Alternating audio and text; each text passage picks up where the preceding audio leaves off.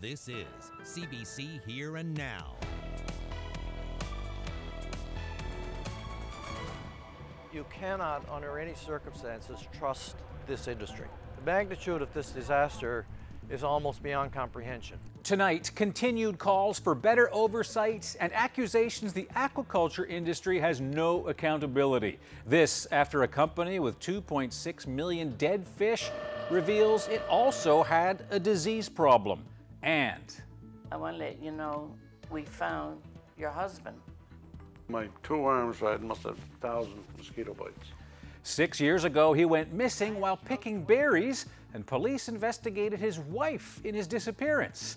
Tonight, Chess and Florence Sweetapple tell us about their ordeal in our special series, This is My Story.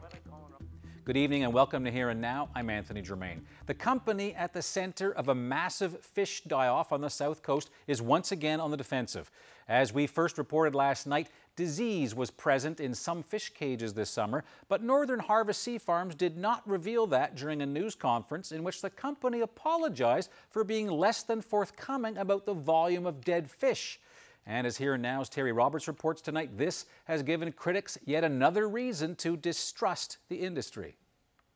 This industry is characterized by deceit, deception, misleading statements. Leo White says this revelation is further proof that aquaculture companies like Northern Harvest need to be reined in. We're not trying to eliminate the aquaculture industry. You know, we recognize that it could be, it can create viable jobs you know, in places in Newfoundland where they are desperately needed.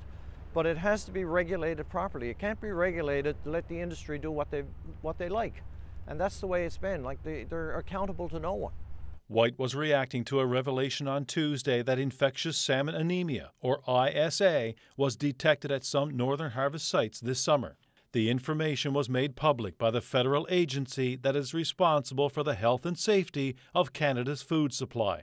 The company confirmed that it was forced to harvest 126,000 fish this summer as a precautionary measure. But none of this was mentioned at this news conference on Friday. What it tells me is that you cannot, under any circumstances, trust this industry. Northern Harvest is denying the two disease outbreaks played a role in a disaster that left 2.6 million salmon dead and insists that unusually high water temperatures are to blame. The company was not doing interviews today, but posted this statement to its Facebook page. The temperature event that took place in late August that led to the mass mortality happened well after the ISA fish in question were sampled. Fisheries Minister Gerry Byrne spent the long weekend on the South Coast, meeting with worried aquaculture workers and community leaders, but has declined repeated interview requests from the CBC. On Friday, Byrne announced he was temporarily suspending the licenses for 10 Northern Harvest sites for what he called non compliance. He also said Memorial University would lead a review of the fish die off, but that has not satisfied the critics. We need a public review similar to an inquiry. It has to be done under some authority, like the Public Inquiries Act. It has to have the resources and the capability and the uh, authority. That's the word. You know, you, you can't do an inquiry like this unless you have authority. Meanwhile, the company says the loss of so many fish from warm water was never previously conceived, and it plans to make changes to ensure it doesn't happen again. Terry Roberts, CBC News, St. John's. Well, meanwhile, a Norwegian expert in aquaculture says the industry needs oversight. Dag Sletmo, an aquaculture analyst for Norway's leading bank, spoke today with Jane Adey from CBC Radio's The Broadcast, and he says aquaculture is like many other major industries that have regulatory bodies, and he says companies working here should also be open and transparent to the public. I think the starting point is that aquaculture needs to be uh, strictly regulated. It's uh, just like the finance industry some industries, if they're left to their own devices, will create crazy uh, uh, boom and bust. So that's something we've seen in aquaculture. If it's people are free to do whatever they do, uh, want, they don't take care of the biosecurity, they get a lot of disease, and it becomes a financial disaster. Now, you can listen to Jane's full interview on the broadcast anytime, on demand. Just download the CBC Listen app for free and search for the latest show, or you can go to the website, cbc.ca slash listen. A necropsy has started on an adult male killer whale that was accidentally caught in a gill net a couple of weeks ago. The orca became entangled near Beaumont in Notre Dame Bay, and a fisherman towed that whale into a wharf. So a team of scientists were able to quickly respond and study the whale. And we were there today as they studied the creature, but a warning some of what you're about to see is graphic. I'm Jack Lawson. I'm a research scientist here at Fisheries and Oceans in St. John's, Newfoundland. On the 2nd of October, uh, we got a report that a fisherman had caught a uh, killer whale in a gill net uh, just north of Beaumont on the north coast in Notre Dame Bay. We have a dorsal fin from this animal. We have the rather large skull here. And over in the bucket, we have a set of intestines that were collected from inside the animal that we're going to look at this morning.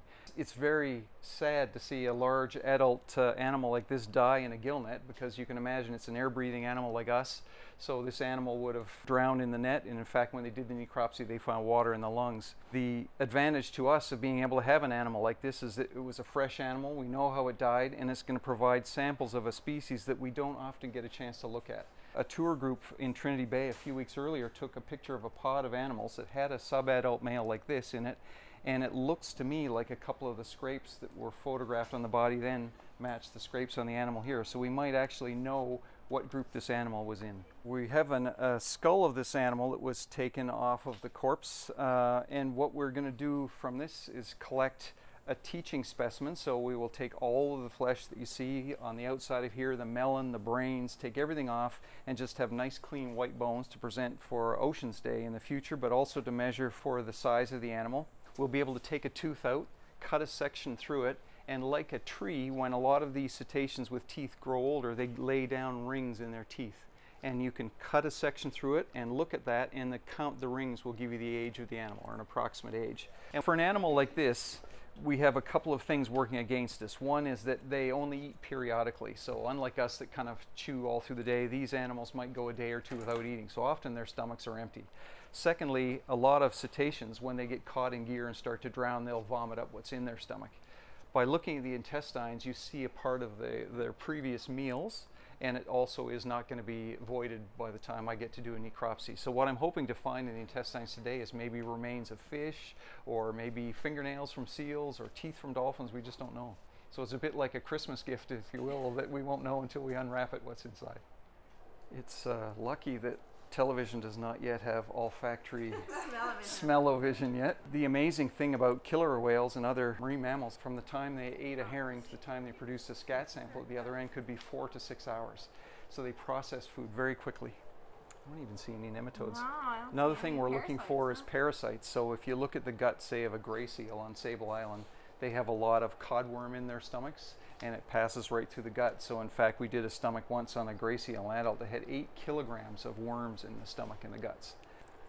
So there's a small piece of plastic wrapper found in the gut. So that's something he could have ingested, just have a mouth open or feeding on something. And we know that these animals have been seen killing minke whales. I've got some great photographs of pairs of killer whales with white-beaked dolphins between them, escorting them to their final dinner appointment. We've seen animals on the south coast that have killed minke whales and then brought the dorsal fin over and offered it to people nearby in boats because they like to share their food. So we're estimating probably a couple of hundred animals in the waters extending from Labrador to the northeast US. So they're very rare in the northeast US. They see one or two a year, same in Nova Scotia. They're rare in the Gulf now but Newfoundland Labrador seems to be the place on the northwest Atlantic for killer whales here. And it may be because we have so many marine mammals here for them to feed on. Well, I think the distribution of these animals is changing partially because up to the Second World War, they were an animal that was killed. They were also whaled, so, and they still are in West Greenland. They, they hunt them for food there. And so there was removals that took the population to quite a low level. Their numbers were reduced in the Northwest Atlantic, and I think we're seeing a recovery. So we see lots of calves when we're out there, and that could be why there's seemingly more and more. And as well, I think social media. You know, we have a Tell Jack campaign where people are sending me photographs all the time when they're out on tour boats. And so I think just everybody has a cell phone now and is able to get great imagery. Oh.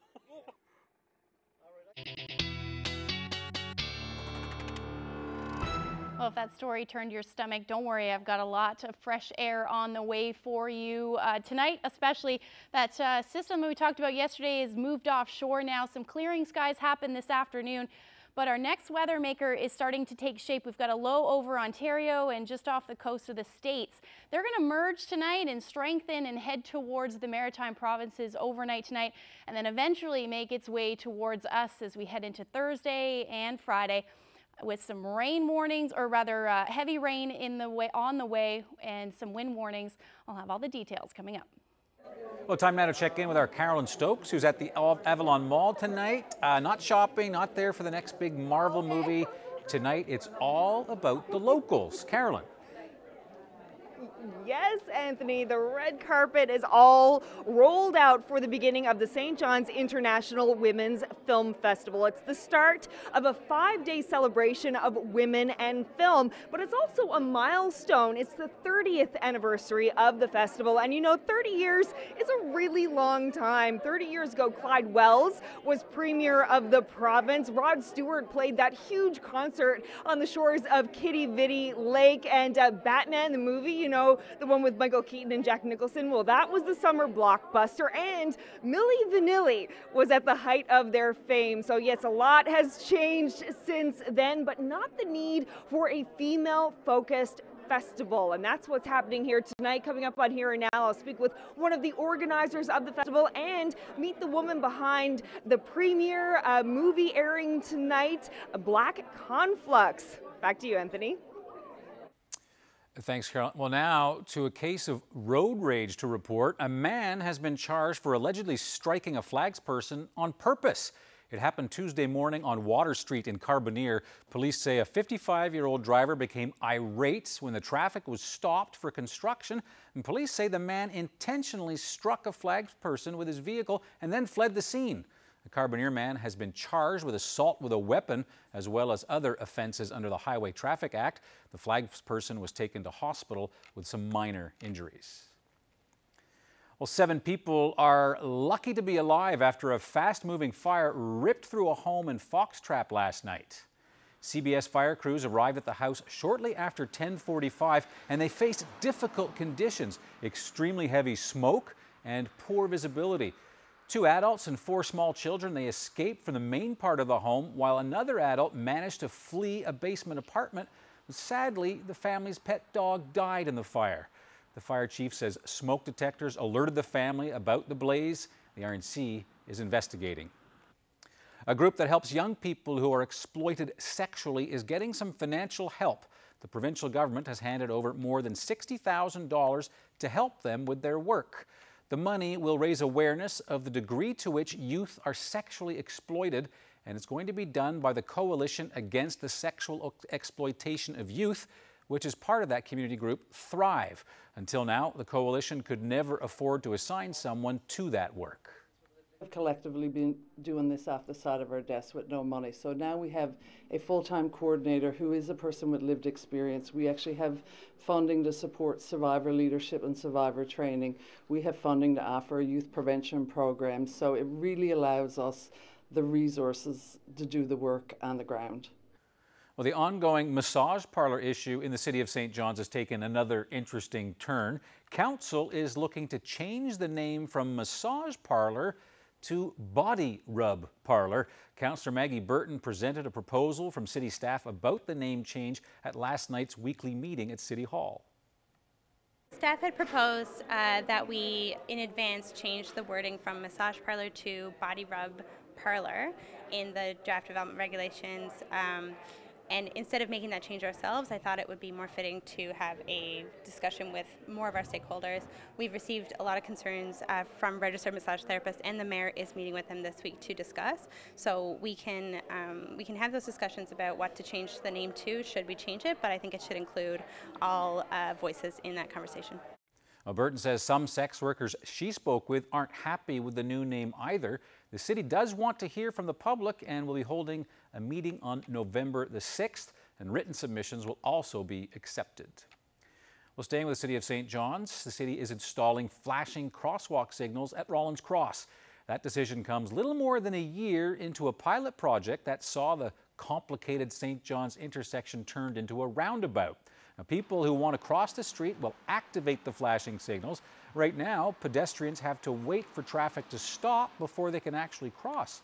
The roundabout is still only a pilot project, but the flashing beacons will become permanent if the roundabout stays. Council made the decision to put in the new signals after hearing from people who walk in the area. The impetus was not because it was dangerous. It was because from the people that were uh, the uh, the information we got from the public and from our own studies, we felt that it would make the area safer. It's not that the area was dangerous as it was, but uh, you know to enhance safety is one of the major uh, goals of our city transportation engineer and our master plan. So it was to make it more alert Black Conflux is this unconventional coming of age tale that follows two characters. The accent for Newfoundland was tricky, but the younger generation doesn't really have such a thick accent. The film Black Conflux shows tonight at the opening of the 30th St. John's International Women's Film Festival. Coming up, Carolyn will talk to the film's director, but first, she's going to take a look at the importance of the film festival as it celebrates 30 years.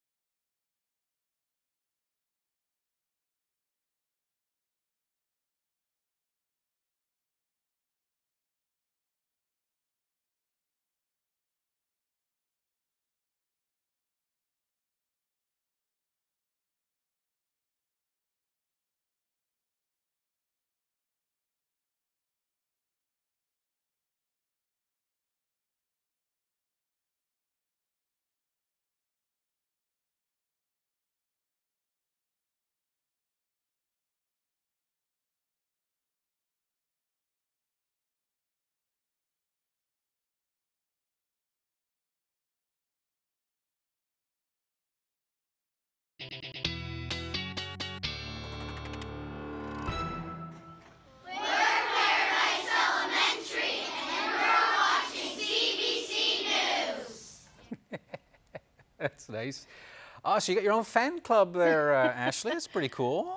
So you're, were you out there? Obviously, you were. I was. Paradise. Yeah. Paradise Elementary. Paradise Elementary. We had a little uh, weather chat this afternoon Oh, yeah. in conjunction with their weather unit, grade fives, hundred and something students. A lot of kids in that Lots shop of right kids. there. yeah. Excellent. Yeah, it was Very good. lovely. Very knowledgeable, asking again so many weather questions and quite a few great ones too, Oh, actually. good. yeah. So where do you want to start? Uh, why don't we start where it was a little bit white this morning? Okay. We woke up to uh, a little bit more than a dusting for Lab West. Take a look, Wabush. Uh, Kirk King sent us this photo. Not everybody doesn't like the snow. He looks happy. Cameron loves it. At least it looks like he loves it. The first one is lovable. It's true. the first one's okay. It's, It's- the it's the next that 200 that kinda gets you. Exactly. That's that's what gets you for sure. But uh, yeah, definitely a cool morning. As you can see, he's all bundled up. Minus one this morning to start uh, in Lab City. Happy Valley Goose Bay around zero degrees. Most of us were relatively mild uh, in the six to seven degree range, a little warmer in Burgeo this morning. And those temperatures really climbed this afternoon into the uh, mid to low or low to mid teens for uh, most of us. 14 degrees was actually the hot spot, St. John's, and uh, eight degrees in Happy Valley Goose Bay. Now, uh, this uh, afternoon we did see the sky's clear for the most part. We're starting to lose that daylight, so the visible satellite now, uh, further and further we get towards winter, uh, the darker, or the lighter it gets rather. So if we zoom out a little bit, you can see that our next weather maker is on the way. So these are a couple of low pressure systems that are going to merge tonight and intensify as they head towards uh, parts of the uh, Maritimes. But high pressure right now is dominating, so that's what's going to be our uh, the majority of our weather tonight, which means nothing. So it should be fairly clear overnight tonight. Those temperatures, though, are going to dip, especially in those low-lying areas. You're looking at temperatures uh, likely near or just below zero, so you might want to leave a couple of minutes in the morning just in case you have to scrape off some frost. Northerly winds, but 20 to 40 kilometers per hour. Uh, 4 degrees for St. John's, 3 degrees for St. Anthony. Uh, up through Labrador, slight chance of some shower or uh, flurries rather will continue for Lab City, minus 2. Those winds will be generally light, and then either showers or flurries tonight for Nain, 2 degrees. Otherwise, we're looking at fair skies overnight tonight, anywhere from 3 to 5 degrees as you head towards the coast. Now, tomorrow, that's when those winds really pick up as that low pressure system starts to make its way uh, towards the island. Certainly into the afternoon, those winds will really pick up down through the southern half of, or at least the southwestern part of the island. You're looking at gusts uh, around 70 to upwards of 100 kilometers per hour, and then even more so into the evening hours. We could see, especially for the Wreckhouse area, upwards of 130 kilometer per hour gusts or more. And then we could see 100 kilometer per hour winds, uh, those places that are, are normally uh, going to see those easterly winds with those stronger winds uh, expected to make their way towards the eastern portions of the island as we head into overnight and Friday morning. So as far as uh, those wind warnings go, all the way up through to Gros Morne, and then we have a special weather statement in effect for the eastern portions of uh, the Avalon. So tomorrow, here comes all that cloud cover. We'll likely see that cloud increase through the first half of the day. The rain will move in late day for southwestern and then spread across the island overnight. And as much as uh, 30 to 50 millimeters is possible right now for the eastern portion of the Avalon. So as far as those temperatures go, again, we should see increasing clouds. So the first half of the day under that high pressure, not too bad. 10 degrees for St. John's, 11 for Clarenville as you head towards central. 12 to 13 degrees it looks like. And then again, that rain moving in for the south coast, Port aux Basques and Burgeo looking at rain uh, through the day. St. Anthony, 10 degrees. And then up through Cartwright, same thing. And then uh, hanging on to that chance of flurries for Lab City, unfortunately, 5 degrees and plenty of sunshine for Nain. So that's a look at your forecast. We'll uh, kind of time out what's going to happen over the next couple of days when I come back. Right, thanks, Ashley. Let's uh, check back in with Carolyn Stokes now, who's live at the opening night gala for the St. John's International Women's Film Festival. Carolyn. Yes, Anthony, lots of people starting to show up here at the Avalon Mall where the uh, feature film Black Conflux is, is going to be the first movie uh, to start off the St. John's International Women's Film Festival. You can see behind me some actors getting uh, their photo taken, all that kind of stuff happening. And joining me now to talk more about the festival is Executive Director uh, Jen Brown. So happy 30th birthday. How does it feel for the festival to turn the big 3 0? It's huge. It's really exciting. Yeah, we're thrilled. There's so many people in town, and as you can see, it's a yeah really full of incredibly energetic, excited people, and we're really excited to screen this film soon. And not only is it the 30th anniversary, but the festival also has the distinction of being the second longest running festival in the world. So, why do you think this province was ahead of the curve back then? I think uh, no one's surprised if you meet any of our local artists or and also our community members. You know, across the board, we have this incredibly diverse, multidisciplinary group of uh, artists, and our community here. You know, Newfoundlanders are known for being storytellers and so supportive and encouraging in our hospitality, our creativity. Um, plus, you know, you get to come to Newfoundland, we're this little rock in the middle of the North Atlantic. If you're into hiking or food or music or visual arts or you know, you name it, it's here. So it's really magical. And once people come here and they meet local people and local artists and filmmakers and just experience the whole province, they're in love. And uh, yeah, after 30 years, that's why they keep coming back. yeah, and are you noticing more people coming to the festival this year because it's the 30th anniversary? And also, uh, ABC in the States had that report saying uh, this was one of the top 10 festivals to travel to. That must have been a pretty big boost for the festival as well. Yes, certainly. I mean, our numbers have been rising every single year. Uh, we keep selling out all of our events. We keep getting more and more new faces. And really, yeah, being voted as one of the best 10 festivals in the world worth traveling for.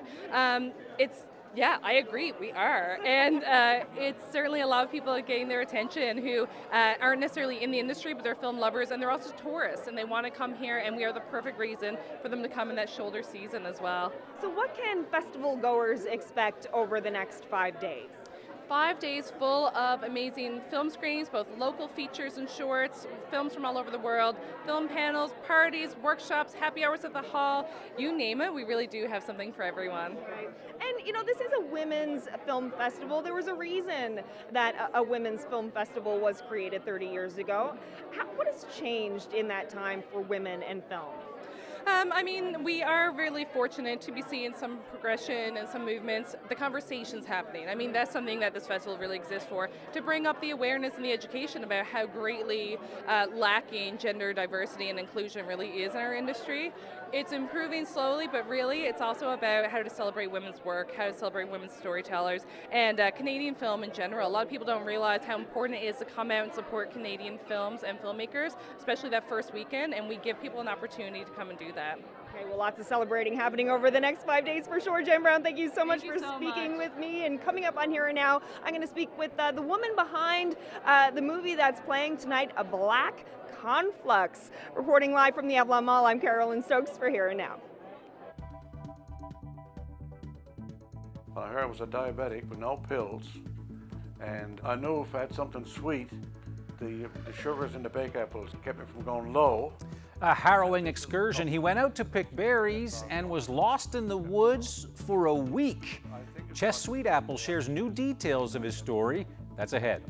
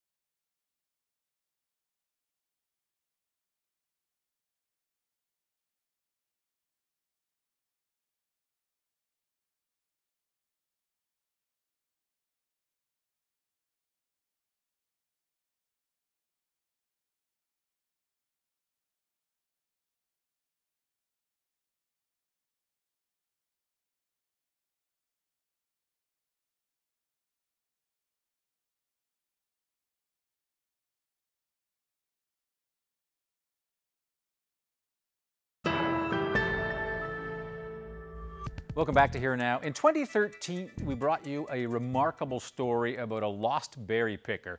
Chess Sweetapple was searching for bake apples in central Newfoundland when he got lost in the woods. Seven days, no sign of Chess. His wife Florence and their son Dave, well, they were preparing for the worst. And then the phone rang and he'd been found. Here's Chess Sweetapple talking about what happened when he got home from hospital just a few weeks later. Went upstream, thought I was going to head to a pond that I knew towards my friend's cabin. But I was on the right hand side of the road, which these are two ponds that I am not familiar. The other ponds are, I know them all. So I walked in times, I was up to my knees in water, and times I was up to here. And I said, don't go in the woods because if I went in the woods, they may never find me. So I stayed on that bog. Fear never ever registered in my mind. Never. You know, there's nothing ever crossed me like they're never going to find me, I'm going to die. Never crossed my mind. Never.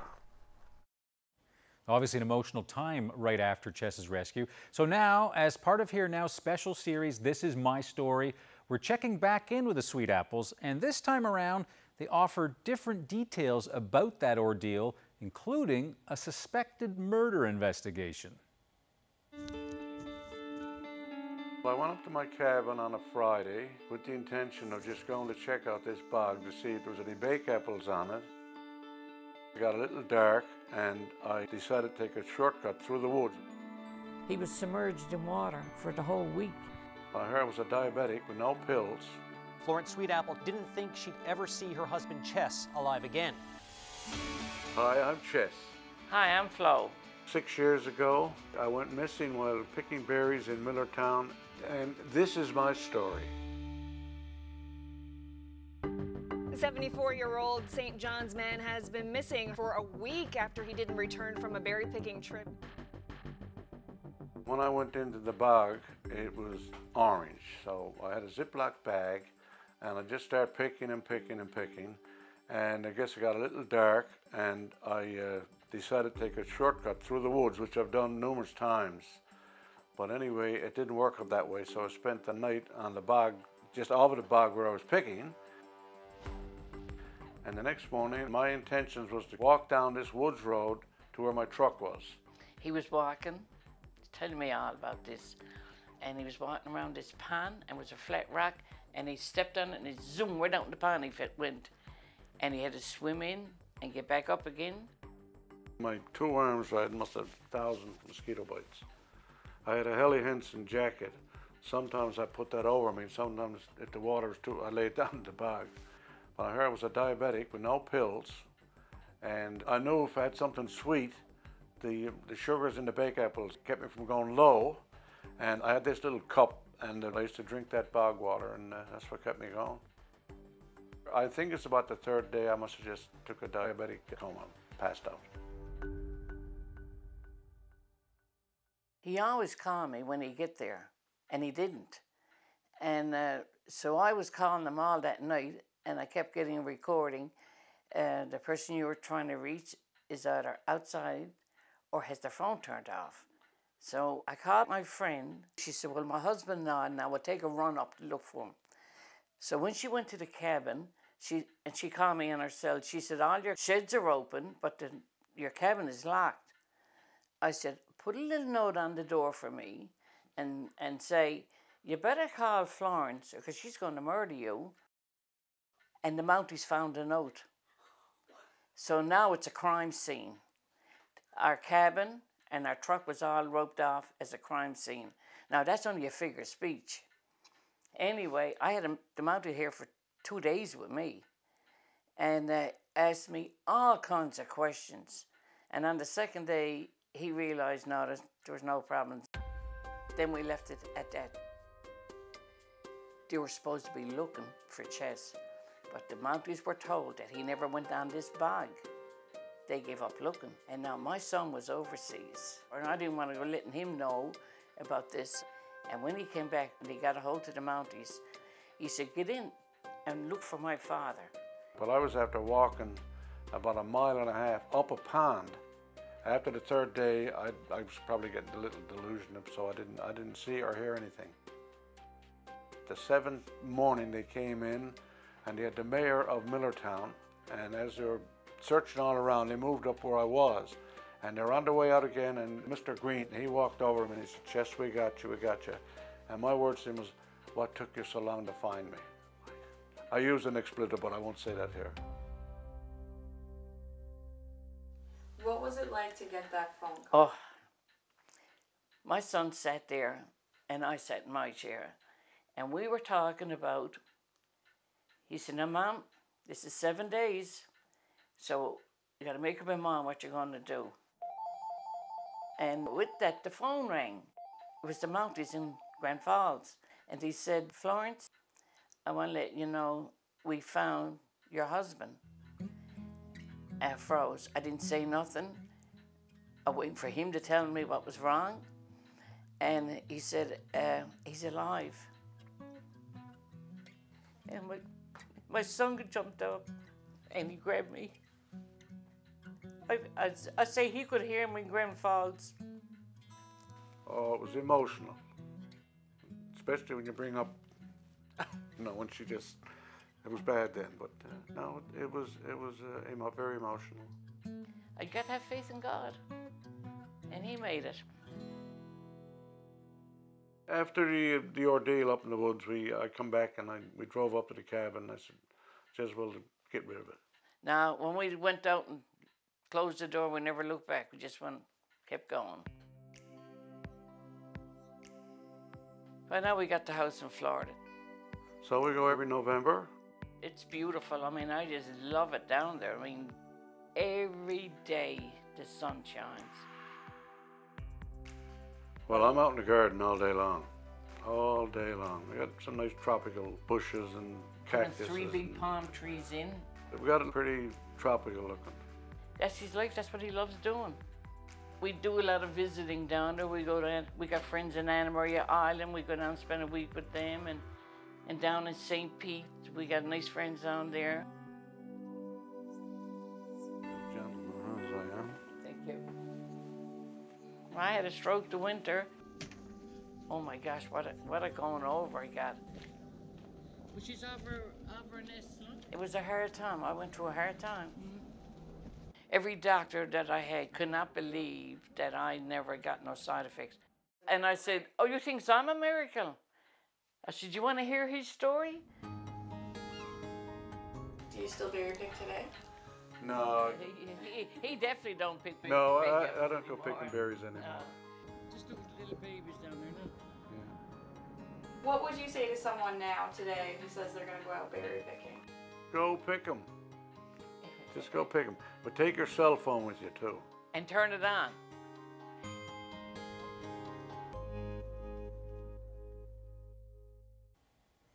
Well, he might not be picking berries anymore, but Chess Sweetapple is still an avid outdoorsman. And just la last week, he was back in Central hanging out at some friends' cabins. And now the couple is busy getting ready to head back to Florida. If you're enjoying our special Here and Now series, This Is My Story, stay tuned. We'll have another segment for you in two weeks.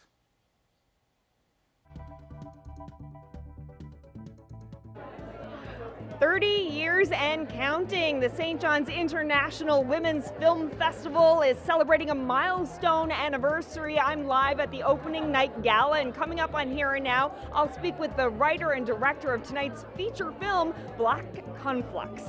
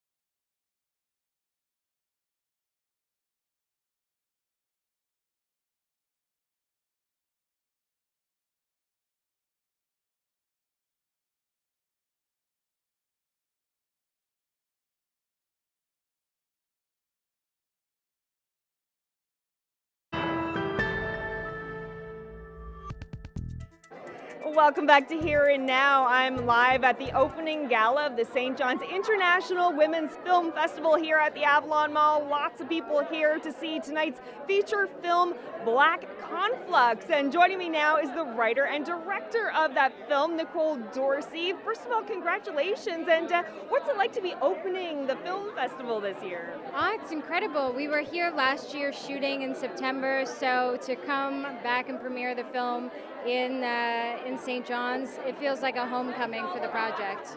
Yeah, and you have, uh, you're not from here, but you do have a bit of a special connection to this province, right? Absolutely. My mother's father uh, and family down the line are all Newfoundlanders. We actually, her siblings are here tonight that came. So I traveled here back in 2010, originally shot a film in 2014, and was back for the feature in 2018. So tell us what Black Conflux is about. Um, so it's this unconventional coming of age tale about a teenage girl named Jackie and a young man named Dennis whose lives eventually cross. Uh, it's this this sort of psychological dark drama um, set in 1980s Newfoundland. 1980s, around the same time when the Women's Film Festival began.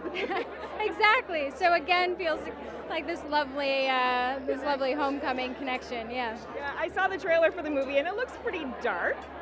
Yeah, it definitely has a bit of a dark edge to it, but I also think that it's this universal story of being a teenager and also a lot of timely motifs within the film as well that lend itself to a lot of reflection and discussion after. And some Newfoundland actors uh, involved in the film too, right? I have an incredible cast, a lot of Newfoundlanders, uh, Rhiannon Morgan, um, oh, there were so many. Now I'm going to blank on everyone's name. Alexis Coding, uh, uh, Manuel was here too, wherever she is. Um, it's, yeah, it was pretty incredible, pretty special. And, you know, a, young woman, a writer, a director. What's it like for you kind of breaking into this world of film these days? Um, I mean, I've been at it since I was quite young and went to film school after that and continued making uh, short films over many, many years. So it uh, has always felt like it was part of me. It never felt like an unusual thing for me to be a part of. Uh, so, yeah, something I've always gone after. Well, congratulations on uh, your film opening the festival. And uh, yeah, I hope you have a great night and that everyone loves your movie. Thank you so much. Thank you. Well, that's it for me here at uh, the opening night for the St. John's International Women's Film Festival. I'm Carolyn Stokes for Here and Now. Thanks, Carolyn.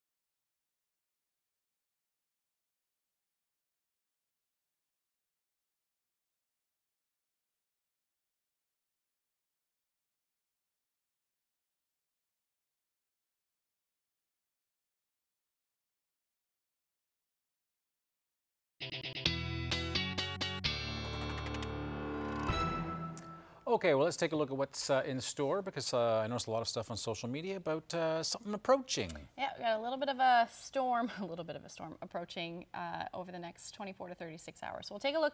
Uh, Environment Canada has already issued a few warnings. Uh, right now we have wind warnings along the west coast. So the Wreckhouse area will likely see winds around 130 kilometers per hour uh, or more starting tomorrow afternoon. And then we do have those wind warnings extending up through Gros Morne.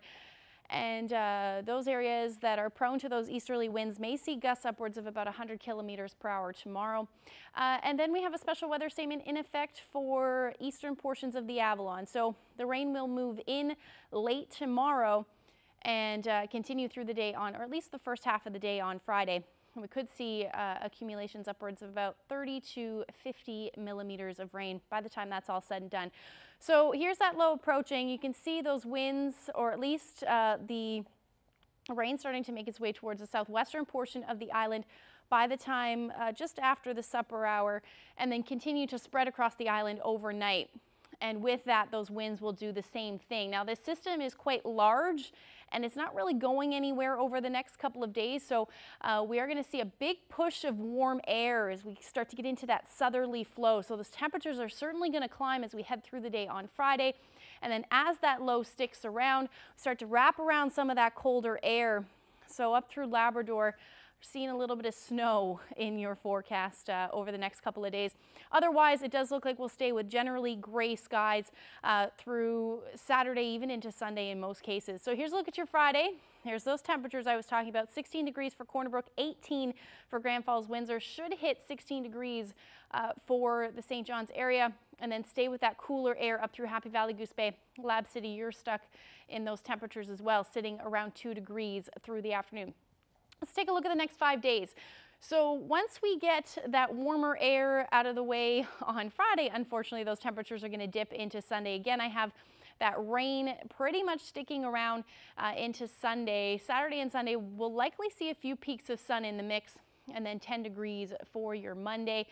For uh, Central, you're looking at about uh, 8, 17, 18 degrees for your Friday. And then again, that sun coming out more than likely at some point in the afternoon on Saturday and Sunday, and then sitting around 10 degrees for your Monday with a little bit more sunshine in the forecast. Uh, by the time Saturday and Sunday rolls around for western Newfoundland, you're looking at uh, temperatures dipping to about 7 degrees. And then uh, Monday, as of now, looks like 9, but those overnight lows dipping back down. They're starting to move down as, uh, as we head into next week. For eastern Labrador, generally single digits.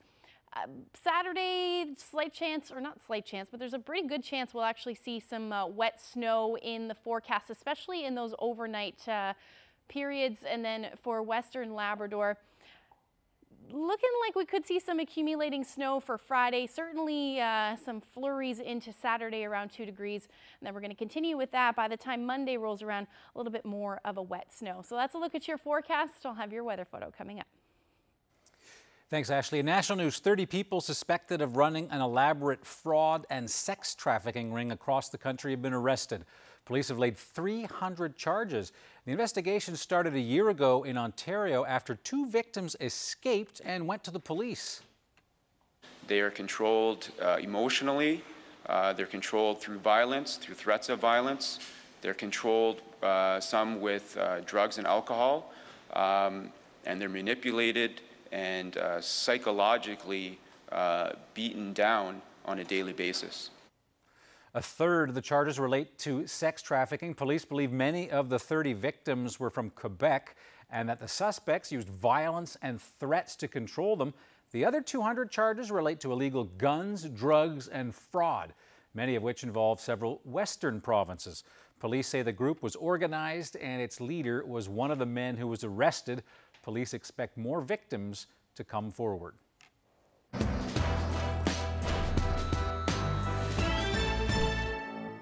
Well, over the course of the election campaign, they've become familiar faces as they show their support for what and who they believe in. They knock on doors, they lead volunteers, and some even run themselves. So, who are we talking about? Well, significant others, of course. Hannah Thibedeau has more. They're in the spotlight and wield power. No, not the leaders, their spouses. And times have changed. These spouses are different. I don't ever feel like I'm playing a role or that I'm fulfilling a role as the wife of. Justin Trudeau's spouse, Sophie, attends many events with her husband. And when she's not traveling with Trudeau, she stands in for him. So you've been out there campaigning. What else have you been doing? Door knocking. I've been going into different candidates' offices. She also helps manage tough situations, like when the photos of her husband in black and brown face emerged. Life has tough moments, so when it gets tough, you actually it's an opportunity to show what you're made of and to, and to rise above. I know who my husband is, I know who we are, and I think Canadians know as well. It's not always easy, but um, I, I enjoy the role of support person and I, I try to help as much as I can and be there for him. Conservative leader Andrew Scheer's wife Jill says attacks on social media and negative headlines are what makes it stressful. We FaceTime the kids and just bring it back to our normal lives and talk about things that are topical and and things to do with the kids. It just sort of changes the channel and just kind of lightens the mood. She helps him kick back. One of Andrew's assistants has one of those speakers, and we hook it up on the bus, and we have dance parties. Does Mr. Scheer have dance moves? Not really, no. He's pretty, not so much a dancer. Gurkiran Kaur is one of Jagmeet Singh's closest political advisors. I'm his partner, so naturally you want to chat with your partner about how the day's going, or if there's certain events that you know were frustrating, or if it was a good day. So in those conversations, you're going to want to give the best advice to someone I believe should be our next prime minister. Hey, welcome home. She's playing a big role in his campaign in Burnaby South, recruiting volunteers, entering data, and canvassing. John Kidder is the man beside Green Party leader Elizabeth May. The two were married last April. We made a pact at the beginning of this that we would not have more than two weeks separation between us at any point. Kidder still has political ambitions of his own. He's the Green candidate in Ashcroft, BC. Kidder is also May's finance critic, but says his most important role is to provide emotional support. Our pillow talk is politics, you know. Hannah Thibedeau, CBC News, Ottawa.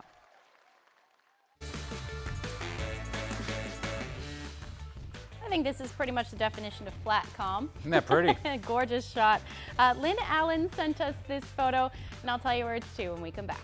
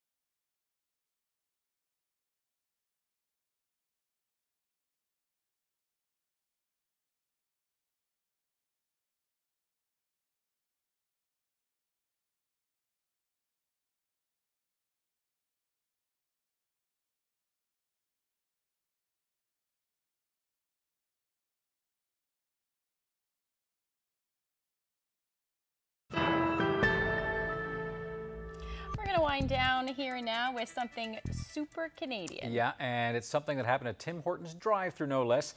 This was the scene in Saskatchewan over the weekend. Check this out.